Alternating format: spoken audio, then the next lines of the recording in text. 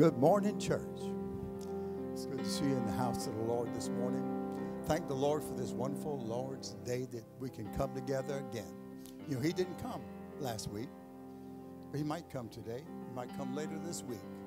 But He said for us to be ready because we know not the day nor the hour He's coming. And I just thank God that He allowed us to come here together. And I'm looking forward to a good service this morning.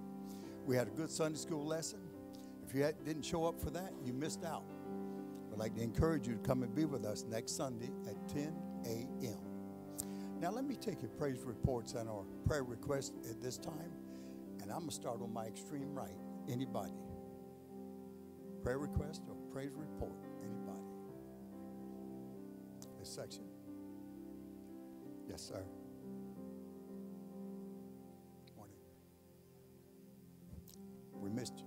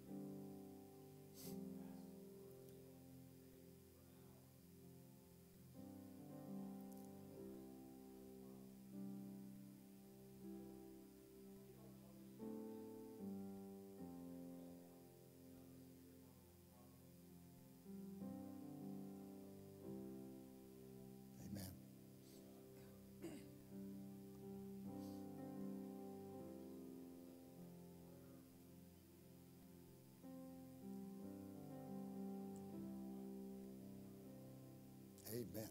Yes, praise the Lord. How about this section here? Anybody? Extreme left? Anybody? Sister?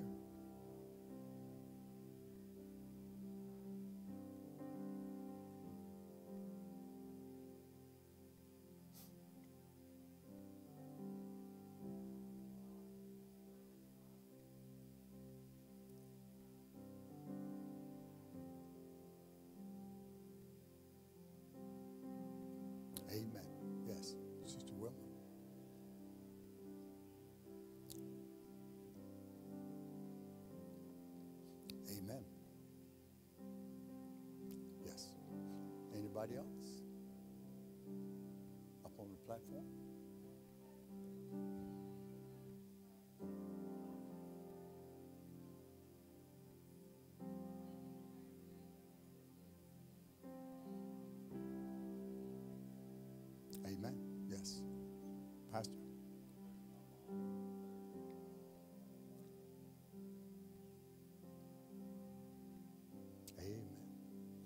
You know, I have a good praise report. You remember I asked you to pray for my brother in law, Hubert Oglesby? Now, he was in the hospital in Atlanta, Georgia, last Sunday. And he'd been in there for a couple of days, and being it was a holiday weekend, there was nobody doing anything. So Tuesday, they did different checks, and they found out that he had an ulcer in his stomach, and they were able to do something with that. But he also, they had seen before a mass, and when they checked for it this time, it was gone. I give God the praise for that. Our God is still healing people. Just like Jerry, I believe God's going to bring him out and his wife. You know, we serve a mighty God. And I like the fact that we can call upon him, whether we're 35,000 feet up in the air in an airplane or whether we're here on the ground, God is everywhere. And I thank God for answering prayers. But just in case somebody thought of something you wanted to say, I'll give you a chance. Okay, would you stand, please? Let's call on our mighty God together. Lord, we come to you in Jesus' name, loving you, praising you, and magnifying your name once again. Thanking you for this Lord's Day that you've given us, the freedom that we have to come together in the name of Jesus. We thank you for what you've already done. We thank you for the good lesson that we had, Lord God. And now we're thanking you for the praise and worship service that we're going to have. And Lord, we just praise you for loving us, for caring about us so much that you gave your one and only Son to die in our stead, to pay our sin debt in full. And Lord, we just thank you for that. We thank you, Jesus, for coming and going through all that for us and making all this possible that we can come together in your name on this Lord's day. And Lord, you heard every prayer request that was given in. We put them in your hands and we ask in the name of Jesus that you'll answer them, Lord God, in your time. We're looking for positive results. We thank you for the praise report. We thank you for those you've already touched. And we pray that you'll touch these others, Lord God, that you'll raise Jerry and his, his wife up, Lord God, that you'll put them on their feet and that you'll get them through this. And we praise you for it already. We thank you for touching them.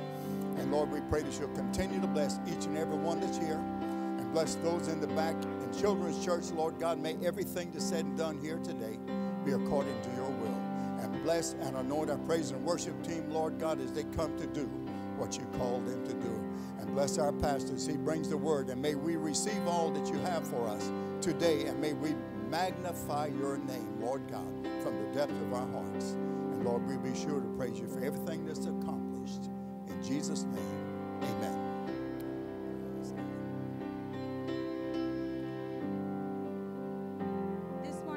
Go into worship, we want to honor our First Lady for her birthday.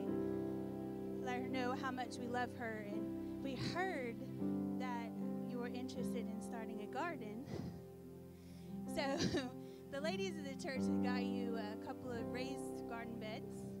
And a few of us have started you out with a few vegetables to uh, be able to bless your family with some vegetables and show you that we love you and this is from the church to show you that they love you and uh, want you to know that we appreciate everything that you do for us in the women's ministry and the church as a whole. Happy birthday. Thank you. That's awesome. Thank you so much. You gonna preach with that right there? All right. I don't know about you, but I need a little life today. Amen. Can anybody else um, vouch with me? I need some life. I am the righteousness of God. I stand in covenant with Him. And through this, I have new life, new anointing, and new power. I will not worry nor have fear. Lord, your word and your spirit, they comfort me.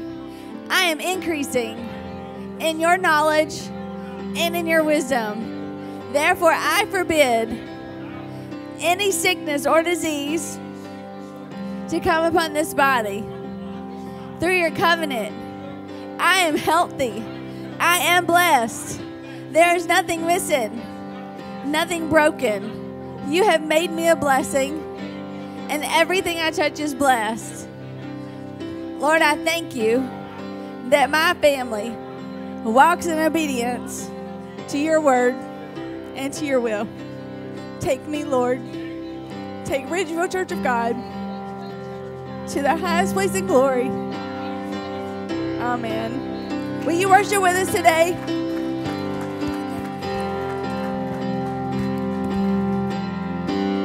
We worship the God who was. We worship the God who is. We worship the God who evermore will be. He opened the prison doors. He parted the raging seas. My God, He holds the victory. There's joy in the house of the Lord. There's joy in the house of the Lord today. And we won't be quiet. We shout out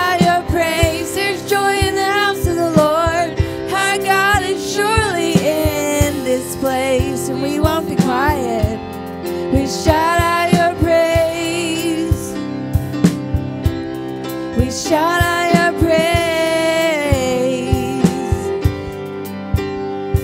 We sing to the God who heals. We sing to the God who saves. We sing to the God who always makes a way. Cause he hung up on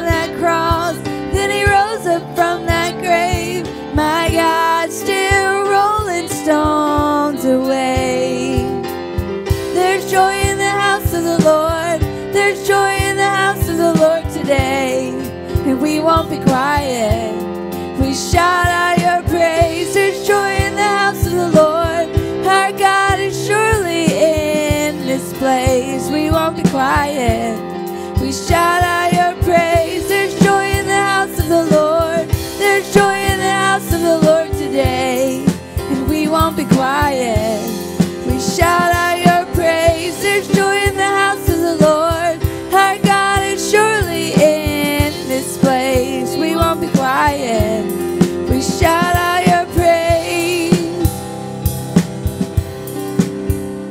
We were the beggars, now we're royalty. We were the prisoners, now we're running free. We are forgiven, accepted, redeemed by His grace. Let the house of the Lord sing praise. We were the beggars, now we're royalty.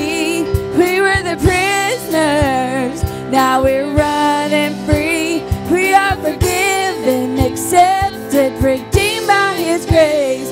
Let the house of the Lord sing praise. We were the beggars, now we're royalty. We were the prisoners, now we're running free.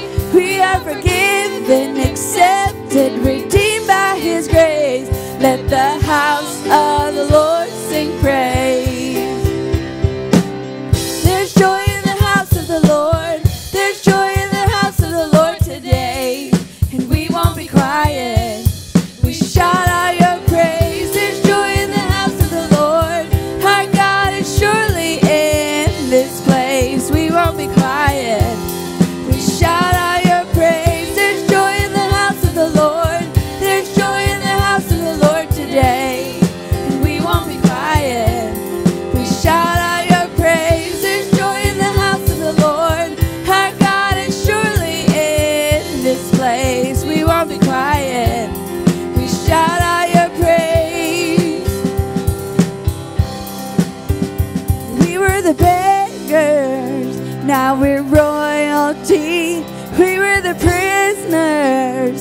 Now we're running free.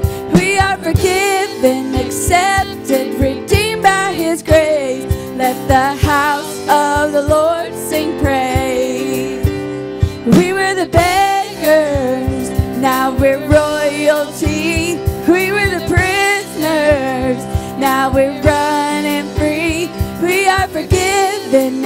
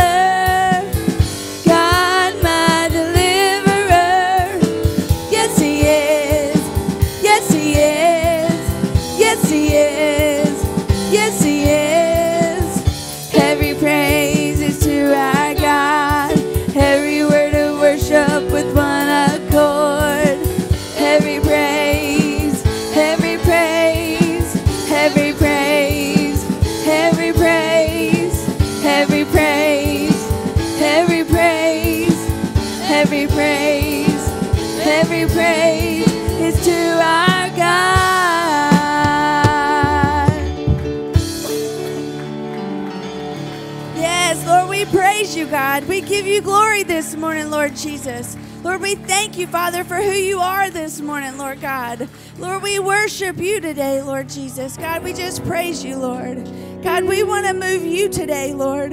God, we know that you're here. God, we welcome you into this place this morning, God. But we want to move your heart today, God. We don't want it to be about any one of us, Lord, because you've been so good to us, God. And Lord, we want to move you today. God, we want you to stop all the angels in heaven from singing and saying, Shh, my people in Ridgeville, South Carolina are here to move me today. And God, I just want us I just want us to set our problems aside today, God. Lord, I just ask that you would forgive us, Lord. God, as we repent today and ask you to forgive us, Lord, for making it about any one of us. God, we want to move your heart today. Lord, we want to move you. God, we want you to just hold back the clouds and be able to look in on us and say that we're pleasing to you today, Lord. And God, we just give you the ultimate praise this morning, God. And we thank you, Father God, for who you are to each and every single one of us, Lord. God, we just give you the praise today in Jesus' name.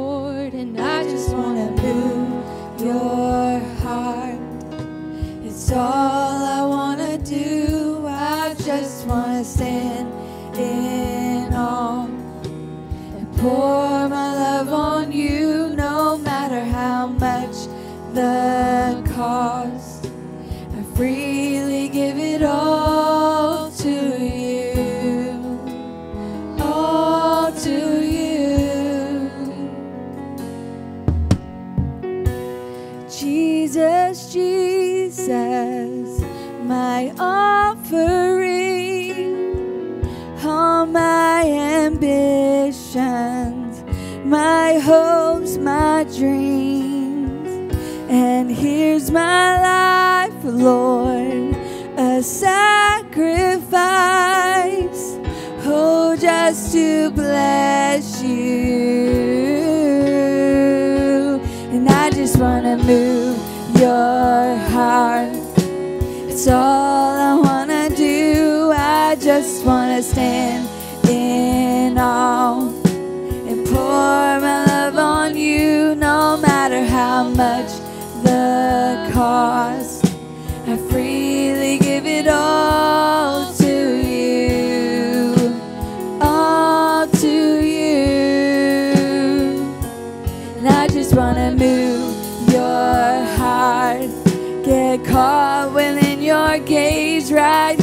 Your presence, God.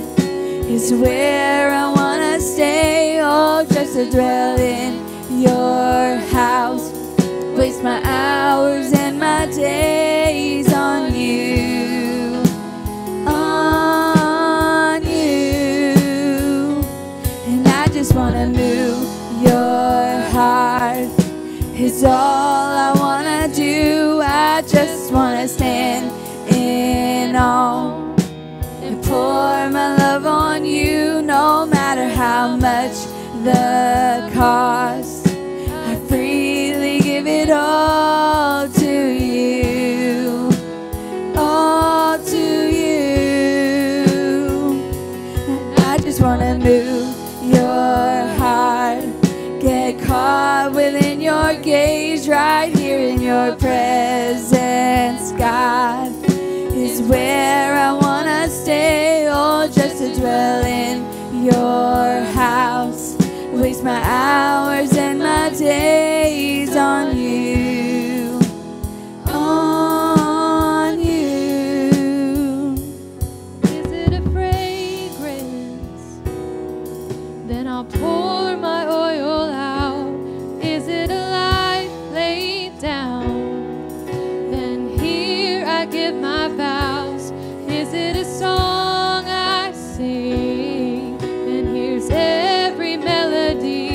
Just tell me what moves you.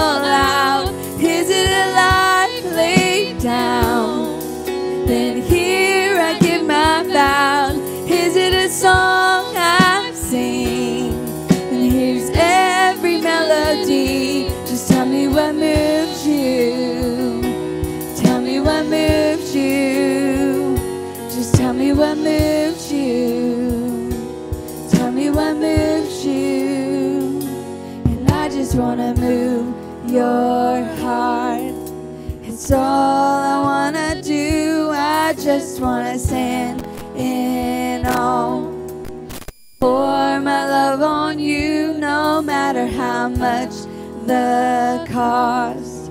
I freely give it all to you, all to you.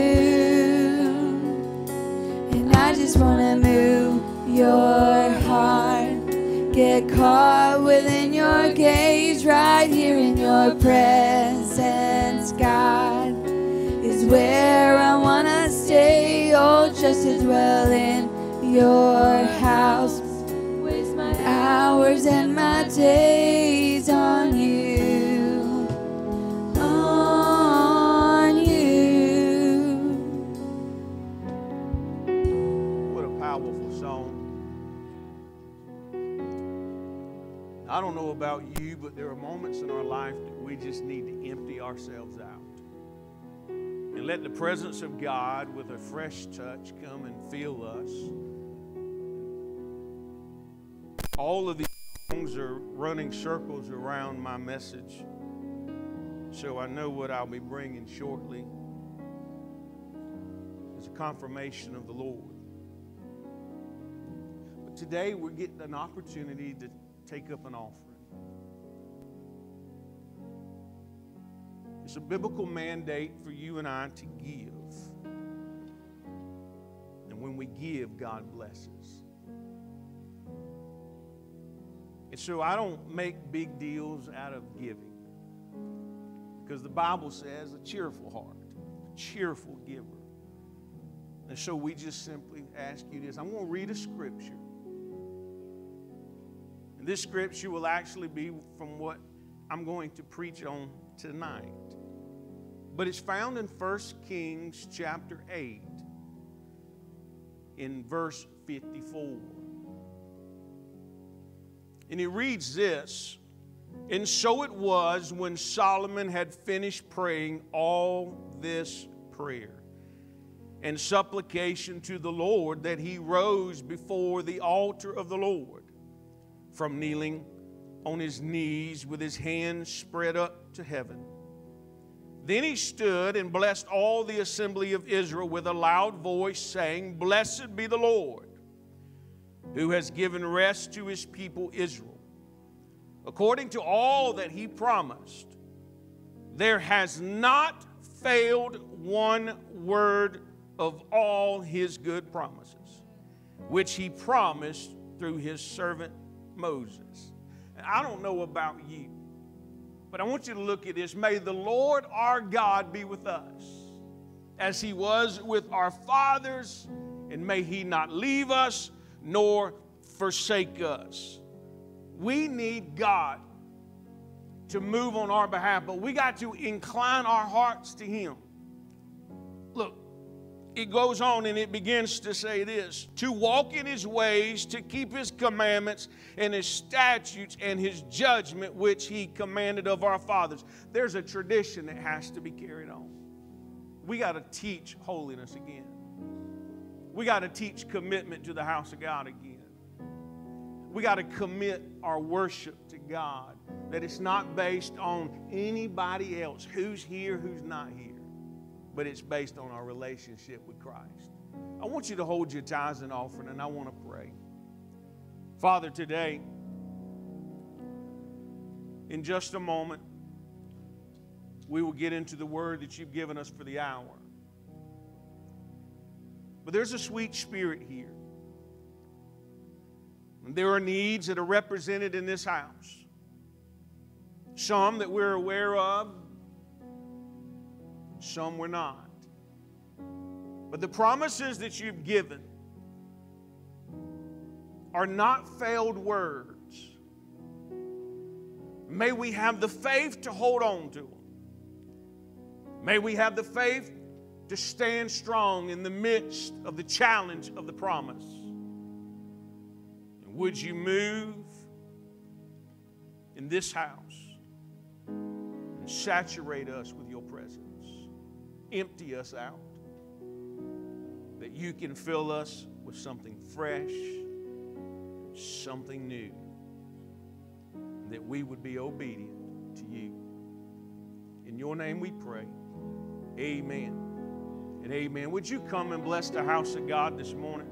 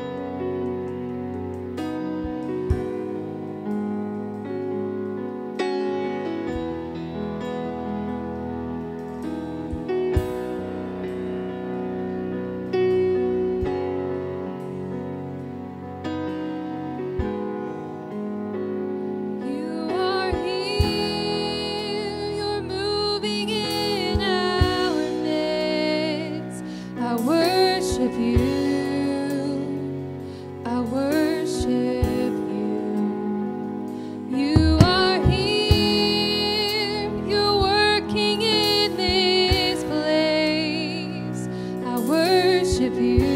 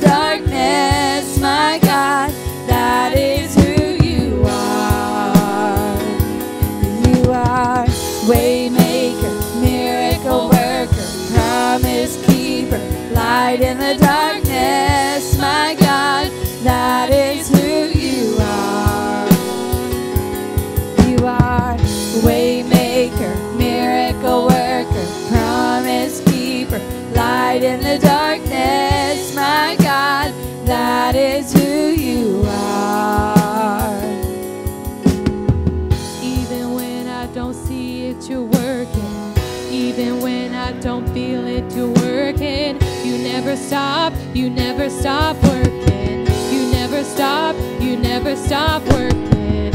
Even when I don't see it, you're working. Even when I don't feel it, you're working. You never stop, you never stop working. You never stop, you never stop working. Even when I don't see it, you're working. Even when I don't feel it, you're working.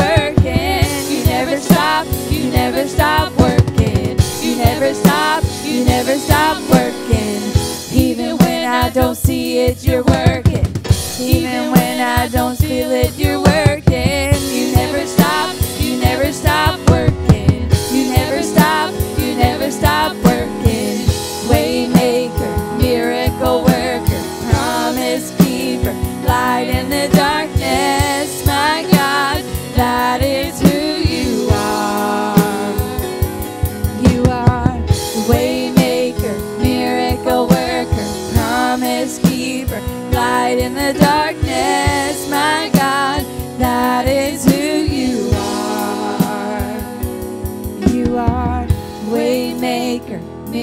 Miracle worker, promise keeper, light in the darkness, my God, that is who you are.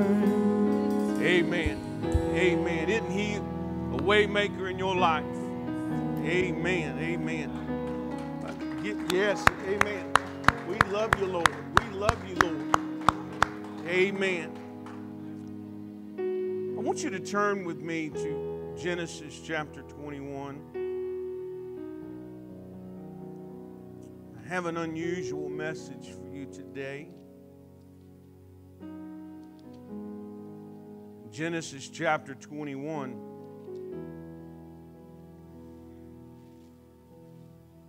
I've titled this message, Do You Have Skin in the Game? The Bible goes on, begin reading in verse 21, or verse 1, excuse me, of chapter 21, and it says, And the Lord visited Sarah as he had said, and the Lord did for Sarah as he had spoken. For Sarah conceived and bore Abraham a son in his old age. And at the set time of which God had spoken to him, and Abraham called the name of his son who was born to him, whom Sarah bore to him Isaac. Then Abraham circumcised his son Isaac when the, he was eight days old, as God had commanded him. Now Abraham was 100 years old when his son Isaac was born. Somebody say, Oh, me.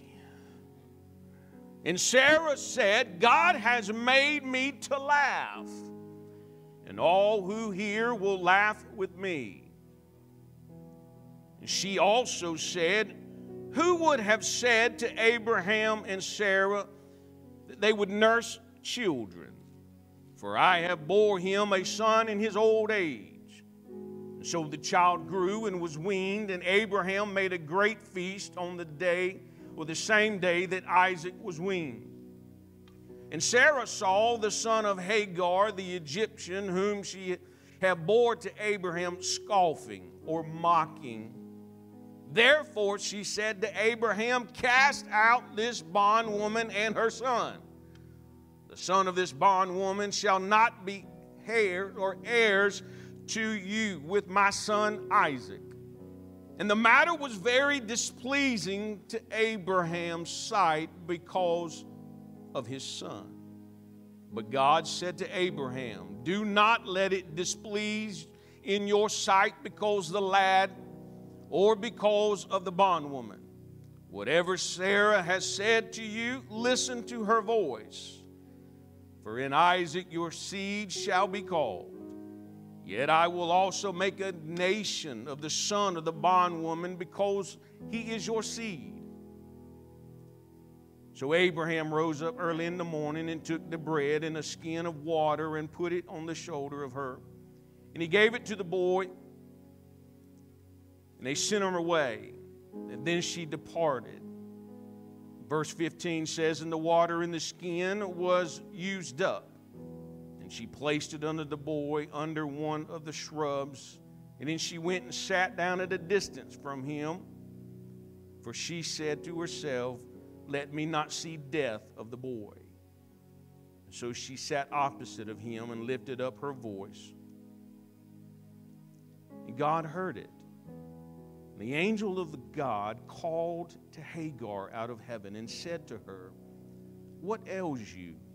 Fear not. For God has heard the voice of the lad. Arise, lift up the lad and him in your hand, for I will make him a great nation. A great nation. Father, help me today to convey to the congregation what you have conveyed to me. As the ground has been fertilized through our worship, through our eagerness to hear from you, I pray that the seeds are planted, nourished, brought forth with positive results, such as these plants that are laid here on this platform. Show us life in the midst of our trials, in the midst of our struggles. And may all things done give you glory, honor, and praise. In your name. Amen and amen. You may be seated. Let me just say this. Number one, I'm sure many of you have heard the expression skin in the game, but it, it simply means a commitment or investment toward the goal. Now, we know that there are some goals in our life that will never be achieved because it wasn't in the cards, as an old expression has said. There are some things that we want for ourselves that are not ordained by God. And we pursue after them, hoping to help God out, only to find that we messing things up. But let me back up. Maybe that's just me, okay? You got it down, Pat. But but here's the thing if the skin is in the game, skin refers to the investment. It's a metaphor for the situation. What situation do you have going on right now in your life that you have no skin in the game? You've not invested for God to move in the way that He's already promised you. You're sitting there hoping somebody else will pay the price when God has promised it to you.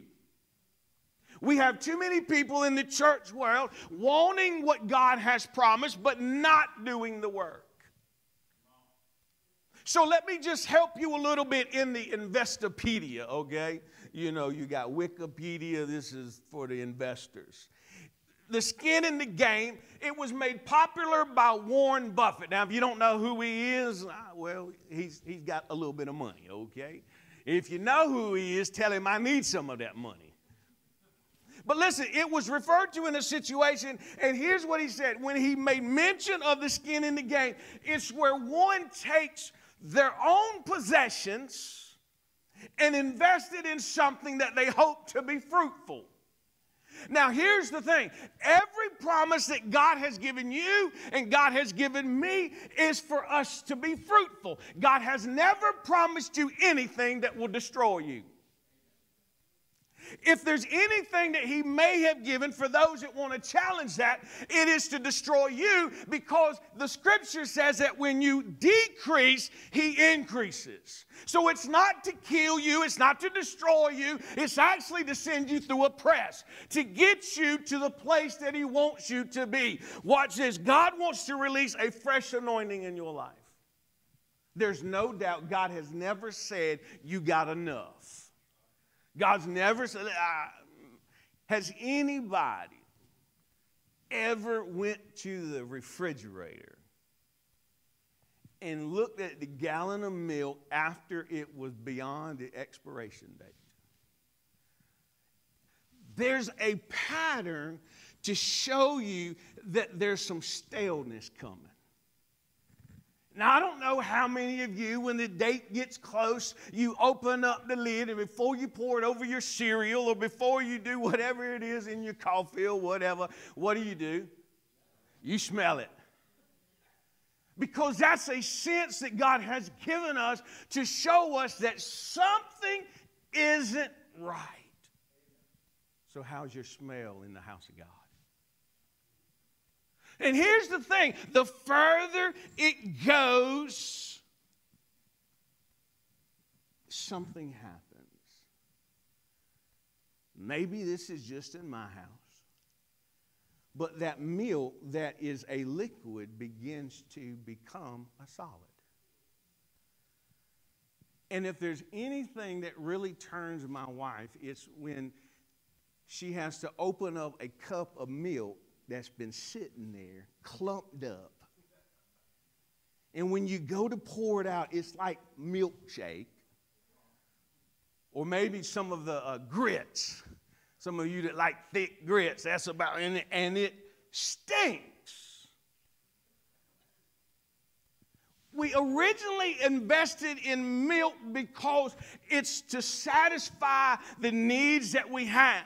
But the longer we go without keeping it fresh, the stellar it gets, the stinker it gets, the clumpier it gets. And so I'm here today to tell you that God wants to give you something fresh. He never gave you something 20 years ago for you to sit on, and all of a sudden you're like, oh, yeah, I got it back then. God is still God, and God wants to give you something fresh. Why? Because this world needs a fresh word from God. And listen, we got the saturated word of God. But we also have the living Word of God. And the living Word of God should be in us because we got skin in the game when we read the Bible. We got skin in the game when we pray. We got skin in the game when we come to church. But there's too many people that have removed their investment. I understand we got fear of a, a, a, recession coming, and so people are pulling their money, putting it in something a little safer. Why? Because they understand the process. And you and I have been in church long enough that we should understand the process. That there are hurting people trying to find a place to get well, and the church should be the best place. There are people that want to be delivered from their issues, and the church should be the place. There are people that just want to be loved. There are people that just want to see what God's all about, and they're looking at you and I and determining whether or not it's worth it. And so, what skin do we have? You see, you come too late to tell me that the investments that I do for the kingdom of God are worthless. Because I've seen the products of the investment. Look around you. People have invested in this house. Many of you, hopefully all of you, have invested in this house.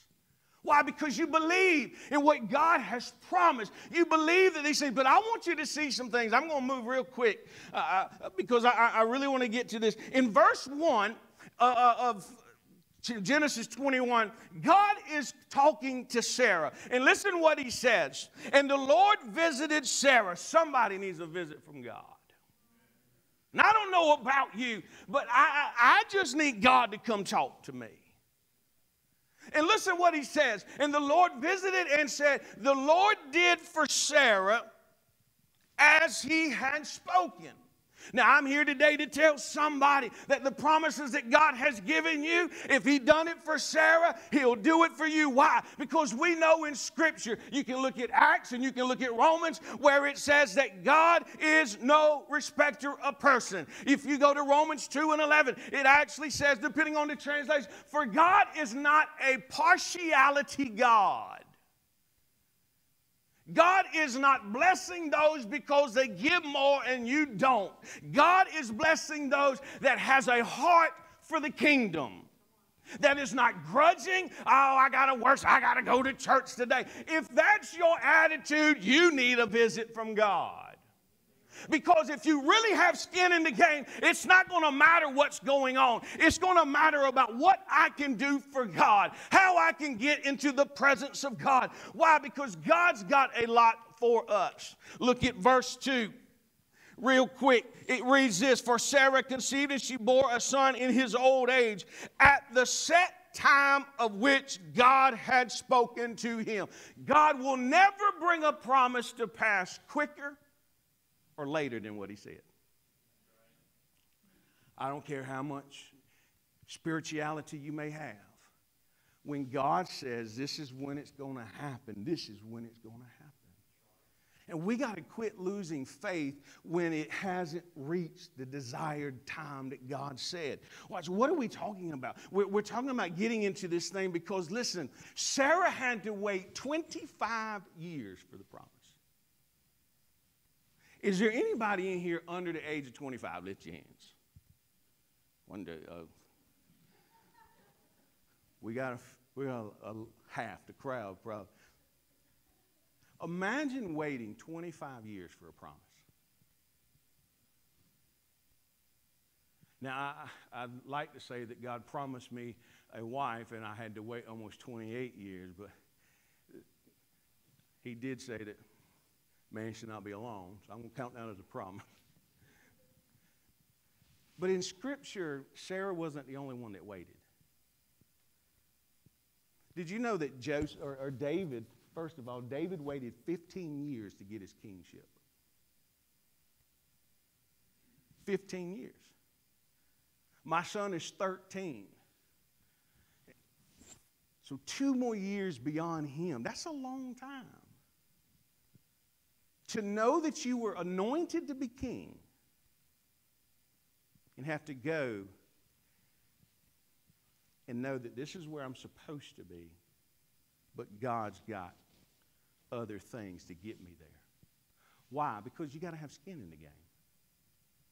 See, he wasn't the only one. Joseph waited 13 years for the dream to come true. Jacob waited seven years for his wife.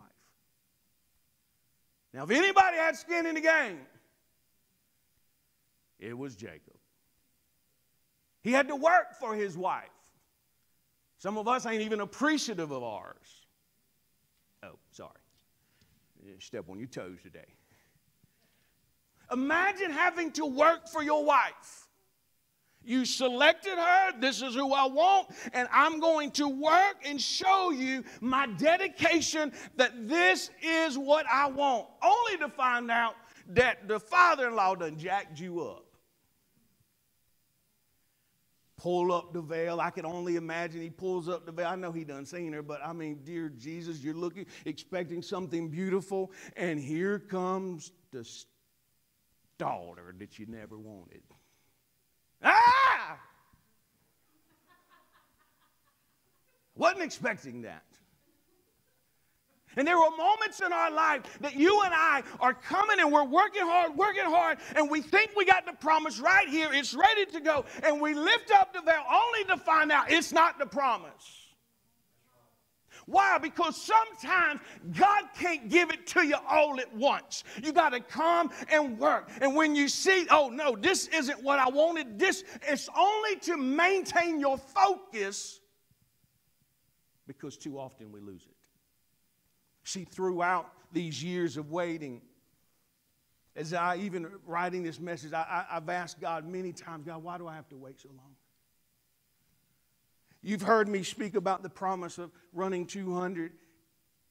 I can remember the day as I stood into the pulpit of the first church that we were at. In 2012, it was a pastor appreciation day. We were running about 166, and, and, and I made this bold declaration that I still feel in my spirit of what God said. In the moment that I made that declaration, momentum was going our way. You're only talking about 34 more people, and it would have been achieved. But the opposite happened. It began to go down, down, down. Because you see, some people like the glitz and glamour, but don't want to have skin in the game. You and I have to have skin in the game. Why? Because at the end of the day, that's where we care about our investments. I don't know about you, but some of you may have 401k sitting out there right now, and the tank is happening.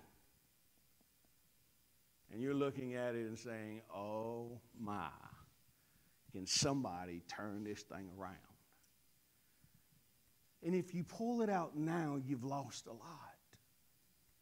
And see, here's the thing if we pull out now, in the midst of trials and circumstances, and just pull up the towel and say, I quit, we take a huge loss.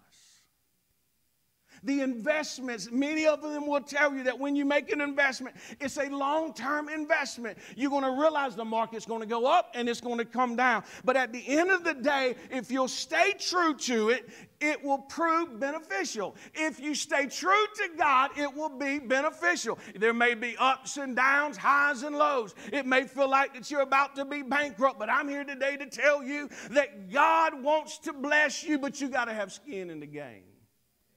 See, people jump church because there's no skin in the game. People criticize leaders because there's no skin in the game. People aren't as committed anymore because there's no skin in the game. A few years ago, Perry Stone, if you don't know who he is, he's a, a minister. Uh, is a prophetic minister, but listen, he said this at the South Carolina Church of God camp meeting. The reason churches don't grow is because pastors don't stay there long enough to birth spiritual children. This church is not a stepping stone. This church is, is uh, uh vital ground for the kingdom of God. But I would go a step further than what Perry Stone said and say the reason the churches isn't growing, I know I've said God does the increase, but you and I got to have skin in the game. We got to want the church to grow. We got to quit this mentality of my 40 and no more. We got to want people to come. I want the broken to come. I, I, I, want those that are desperate for God to come. I want those that are hung out on drugs to come. Why? Because we're supposed to be a house that helps. And so, if we took what Perry Stone said a step further, the reason the church doesn't grow is because the church, the church, doesn't stay long enough to birth spiritual children. people jump left and right. But so let me ask you if you've been in the church long enough, and I'm talking about not here, but the church in general, how many children have you birthed? Have you birthed a great nation like was promised to Abraham? Because you're constantly winning people to the Lord. And, and you just want to expand the kingdom of God. I, I had a young lady reach out to my wife and I and, and, just say, Help me pray for salvation. It was over a, a Facebook inbox, of all things. And we walked her through the plan of salvation and added another to the kingdom of God. See, you don't have to be in church to win somebody. You don't have to be, oh, I got to be in the presence. I got to spit on their face and I got to pray real loud. That's, that's not scripture. I believe that God really wants to move in the house. I believe that God wants to do some things, but listen, some of God's promises are conditional. Look in Scripture, some of those were conditional on the people. I'll prove it to you. The one that we always love to quote if my people who are called will turn, that's conditional, then I will. So it's a, a, a, conditional promise. And there are promises that God has given you and I that are conditional, and it will never be fulfilled if we never do the condition. But there are some promises that are unconditional. There are some promises that God will fulfill no matter what because of who He is. And, and that is all we have to do. God promised us salvation. God promised these things would happen if we would serve Him. And that is, yes, conditional. But the promise of God is unconditional, it's for everybody. And you got to understand that what God wants to do in your life, look at this again in verse 2 of Sarah can see God's timetable is always for everything. God does not throw out something that is, has no time stamped on it. You may not know it, but God does. And his ways are far from finding out. Look at verse 3 real quick. Abraham finally declares to his son the, the promise of God. Can you imagine having a promise at 75 years old and all of a sudden you're going, you're going, you're going, and then, oh no, this is not going to happen? All of a sudden you find out that your wife is pregnant. I've never been 99 years old. But I can tell you this, this is a personal opinion. Don't, don't, don't, don't hate on this. But raising children, the older you get, is difficult. I can't imagine. Let, us uh, brother smoke and sister smoke. Here we go. All of a sudden, God comes in and says, Bobby Smoke, you're going to have a child. And Sister Audrey's there, and she gets a word from an angel that all her barrenness is about to open up.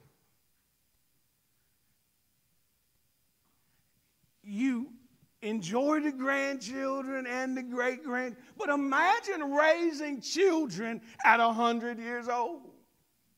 I know the biblical stuff is a little different from today, but I'm just telling you, at some point, God says, I don't care about your age, I care about your heart. I'm going to give you some promises that you think are too good at my age. I can't fulfill it. If God gave you the promise, He knows that you can.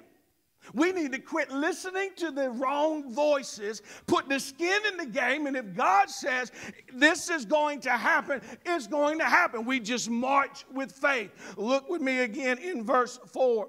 Abraham circumcised his son at eight years old. Now, that was a tradition of the day. Eight years old. I want you to understand the biblical number for eight is new beginning. It's a new beginning.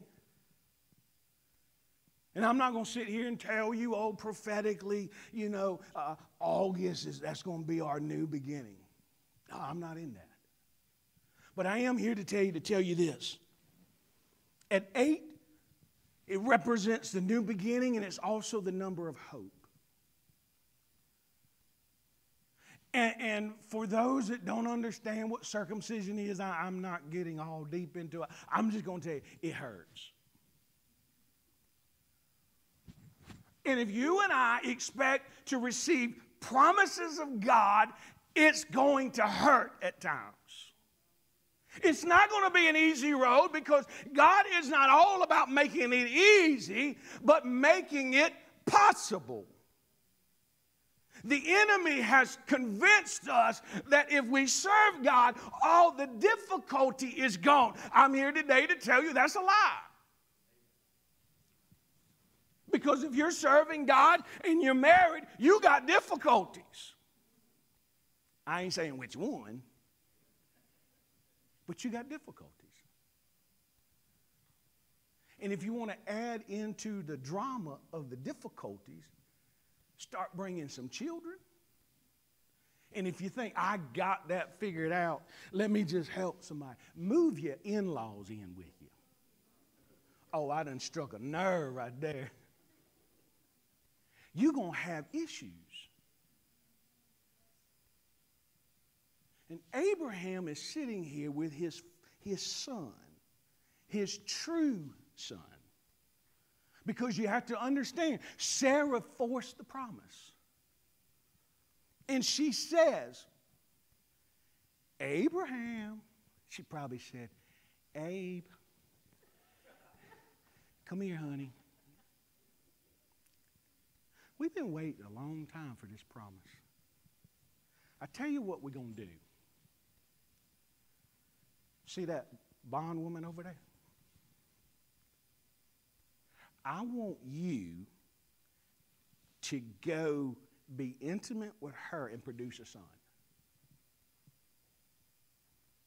Now, we know through Scripture that Ishmael was born, and Ishmael begins a separate nation, and that nation we can look at follows into the Islam nation. But here's what I want to tell you that the moment you force the promise of God is the moment that you will always face the consequences of your actions.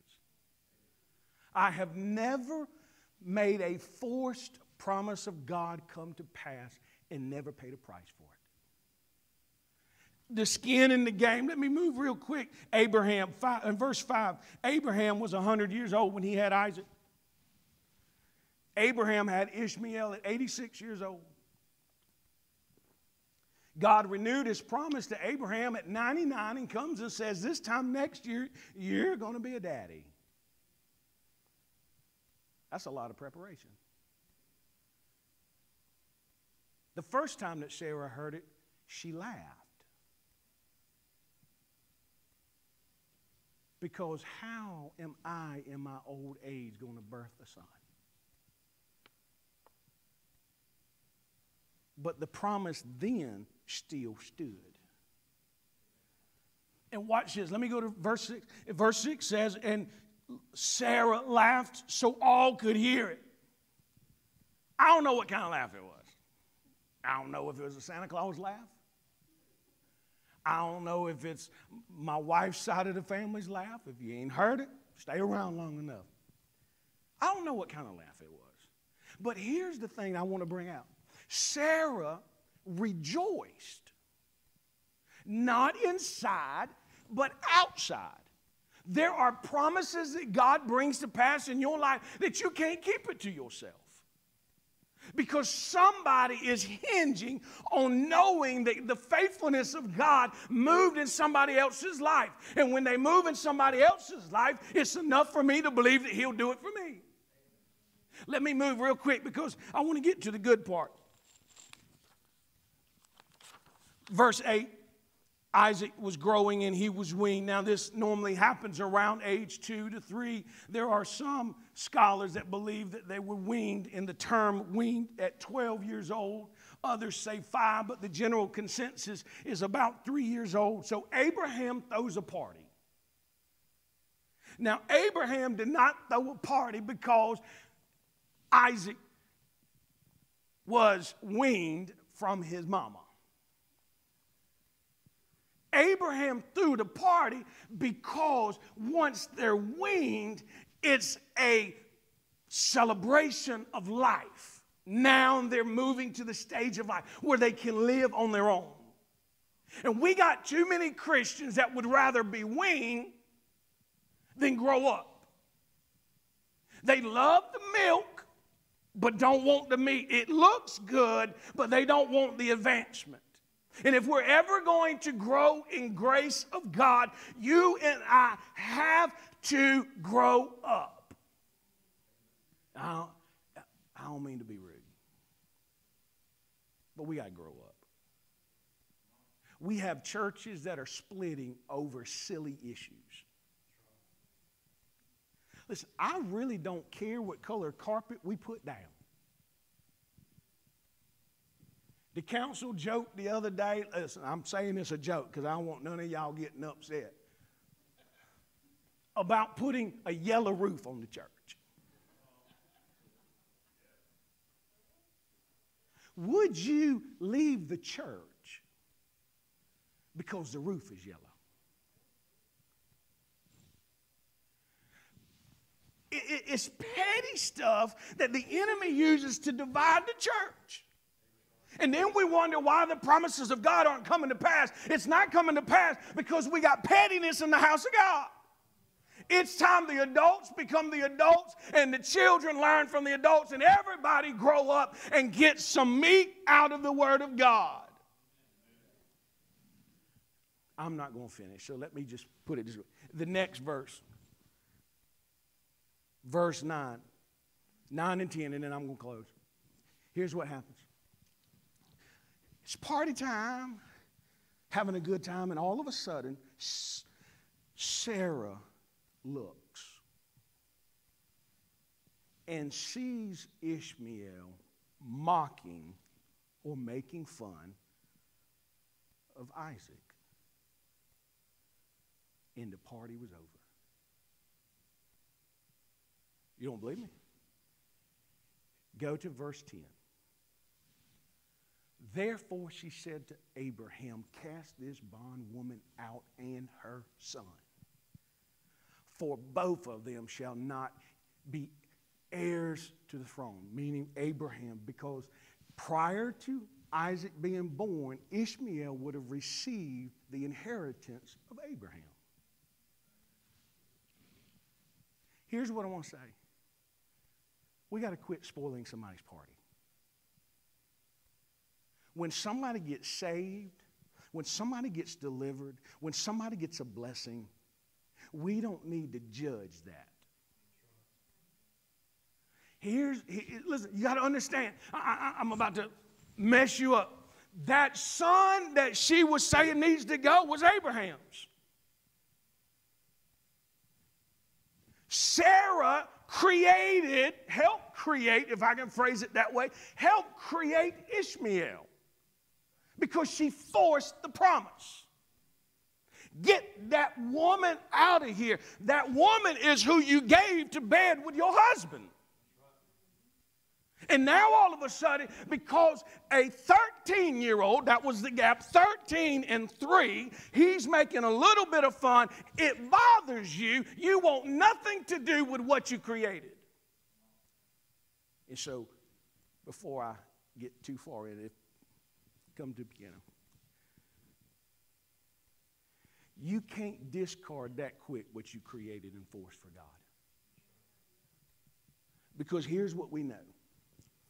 We read it in the scripture. You can go back and read it. Abraham is having an issue with it. Abraham's having an issue with trying to tell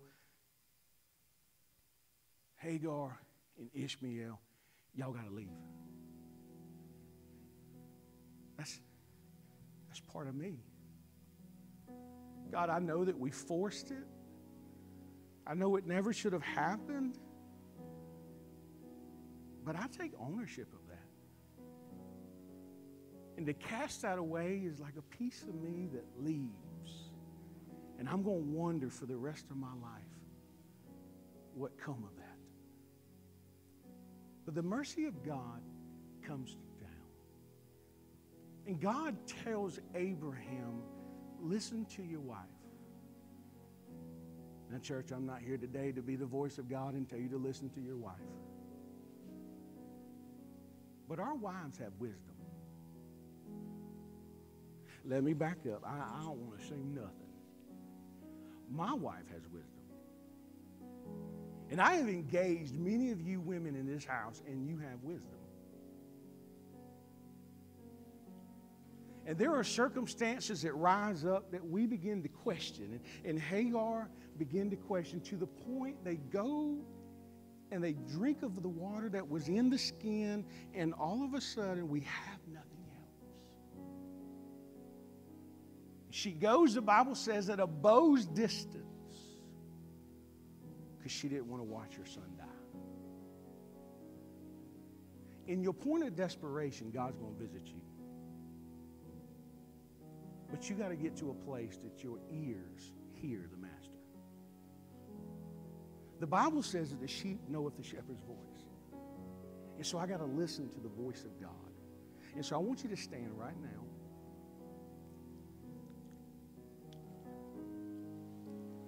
With every head bowed and every eye closed. If there's a promise that God has given you and it's not come to pass yet,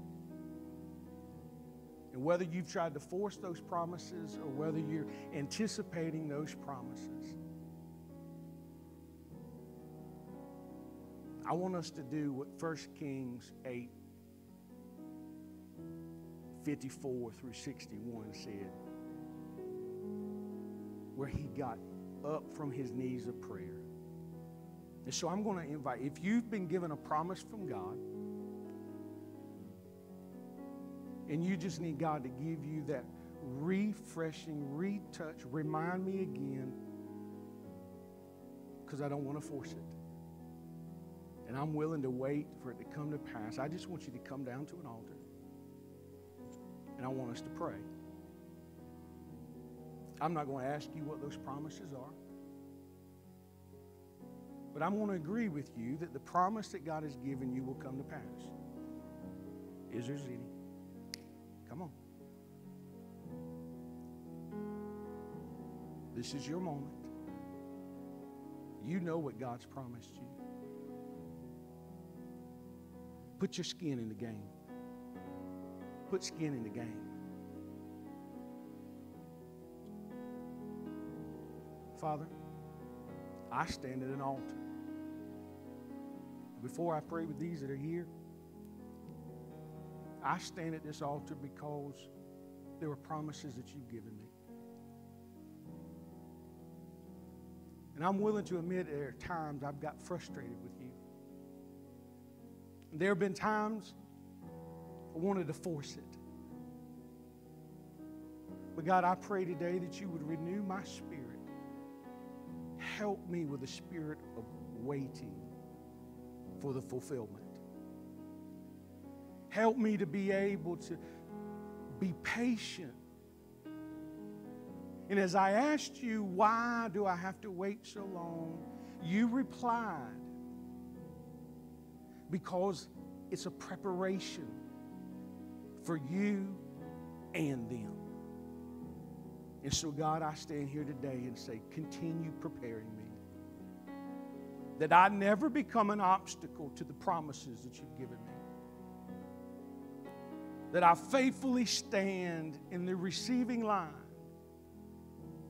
No matter what it is that you have for me, let me so graciously receive. And so, Father, as we pray, we just ask you right now, Lord, would you come and move and minister? I know that there are those in the seats that have received a promise. There are also those that have come to an altar. And so, God, today, we speak in agreement with those in their seats and at an altar. Give them the strength to wait. Give them the strength to stand strong. And when the temptation presents itself to force the promise, God, I pray right now that you would just allow us to push that out. Let us have the skin in the game where we have prayed and we have sought after you and we have asked you to prepare me. Don't let me be an obstacle. Don't let me be something that stands in the way, but let me be a vessel of honor. Let me guide people to the promised land.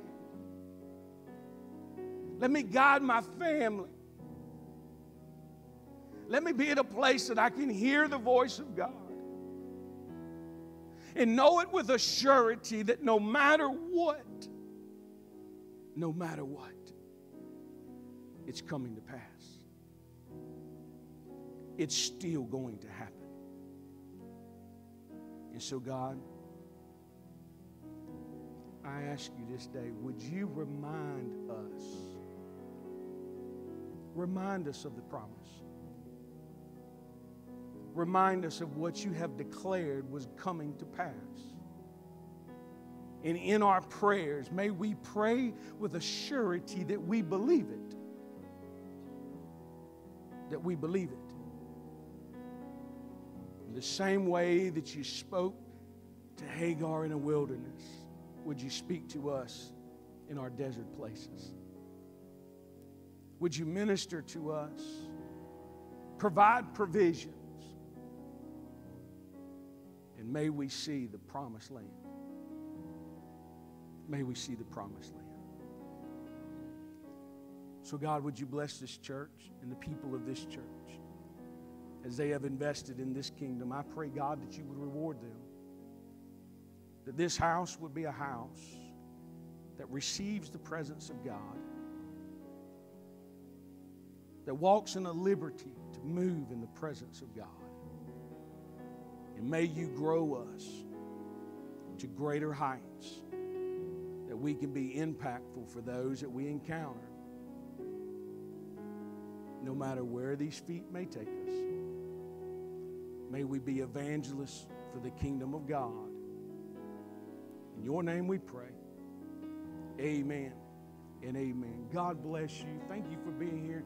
Don't forget we have a church planning meeting at 4:30. VBS starts